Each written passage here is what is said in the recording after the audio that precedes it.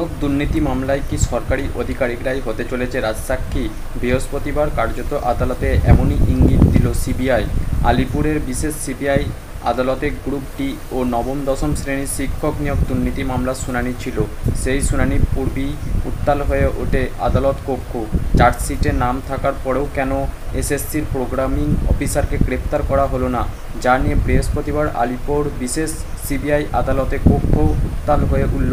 সরকারি সিবিআইয়ের বিরুদ্ধে পক্ষপাতিত্বের অভিযোগ জানালেও অভিযুক্ত পক্ষের আইনজীবী বিপ্লব গোস্বামী ও সঞ্জয় দাশগুপ্ত। শুনানি চলাকালীন সঞ্জয় দাশগুপ্ত আদালতে দাবি করেন, এমন কয়েকজন রয়েছেন যাদের নাম নবম ও দশম শ্রেণির শিক্ষক নিয়োগ দুর্নীতির চার্জশিটে রাখা হয়েছিল, কিন্তু তদন্তের এতদিন পরেও কেন পদক্ষেপ গ্রহণ করল না সিবিআই?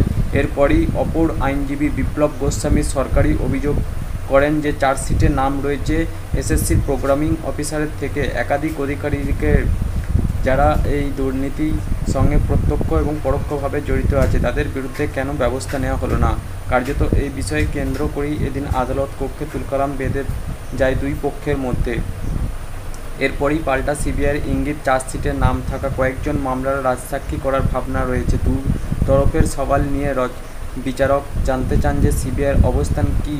সিবিআই আদালতে জানায় যে সমগ্র অগ্রগতি কেস ডায়েরিতে আছে, তাদের দাবি কেন্দ্রীয় তদন্তকারী সংস্থার হাতে প্রমাণ আছে কি তা না কেউ জানতে চায় না। তাহলে অন্য কেউ গ্রেপ্তার হলে আদালত কক্ষ উত্তাল করা হচ্ছে। উল্লেখ্য, গ্রুপ ডি মামলায় এদিন আদালতে পেশ করা হয় প্রসঙ্গ রায় এবং সুব্রত সামন্ত রায়কে, যাদের আগামী চোদ্দোই জুন পর্যন্ত জেল হেফাজতে পাঠিয়েছে আদালত। অন্যদিকে নবম, দশম শ্রেণির নিয়োগ দুর্নীতি মামলার আদালতে তোলা হয়।